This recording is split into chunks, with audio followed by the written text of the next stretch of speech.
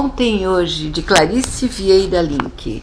Como era linda aquela cachoeira, que esplendor de águas claras, hoje tão sujas. A queda d'água borbulha lentamente, todo aquele esgoto com bolhas de detergente. O ar, ah, o ar, inspiração e expiração. Que satisfação! Agora da doença no pulmão. O mar, que gostoso nadar, peixinhos avistar, conchinhas apanhar. Atualmente os coliformes estão por mais metros cúbicos a disputar. Até eles reivindicam mais espaço, porque estão em nossas praias a centulhar. E, ironicamente, tudo que é podre está cheio de vida e a nos matar.